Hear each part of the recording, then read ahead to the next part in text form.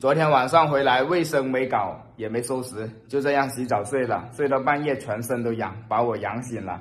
看到没有，全部都是乱糟糟的。我出去之前都是关好门窗的，不知道这些灰尘垃圾是从哪里来的。我要花两天时间把二层跟三层的卫生搞好，然后呢，把这些东西全部收拾好。这里是二楼，这些就是从佛山搬回来的行李。看这些灰尘，厚的都可以种菜了。看看阳台外面，更加厉害。二楼这里就像一个荒废的房子一样，空在这里，每年搞卫生一点用处都没有。三楼这里的话，这个房间就是我住的，然后旁边这个房间的话就把它清空出来，铺一张床在这里，给月嫂在这里住。然后呢，铺一张床横着，然后这里放一个桌子，可以在这里冲奶。等孩子长大的时候呢，这里就变成一个儿童房了。先吃饭，吃完饭再干活。阿婆，干日冇窗盖吗？冇创。炖日冇创。马天创。还好今天有鱼。音乐响起，干活。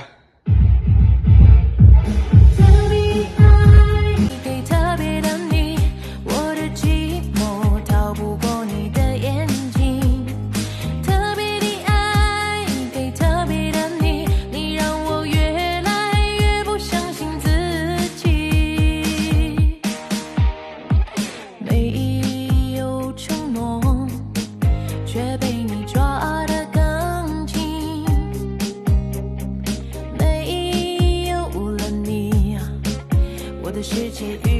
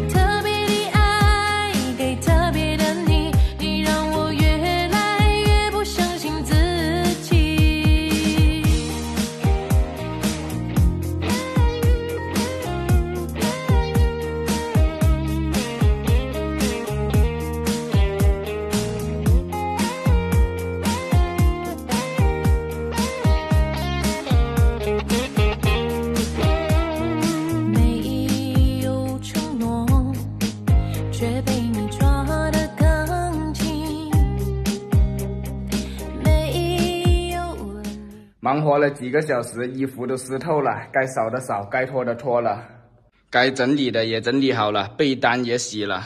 二楼的卫生就先不搞了，等过两天有空了慢慢再搞也可以。现在又碰到了一个难题，卡在这里了。奶奶说那个房间的床暂时还不能搬进去，不能钉，不能敲，不能锤，也不能装那个床。现在不知道怎么办了。刚下去搬床的时候就被奶奶阻止了，不知道是信她的还是信自己的。这个床今天就暂时先不装了，大家给给建议，你们那边有这样的习俗吗？今天的视频就先分享到这里，我们下一期再见。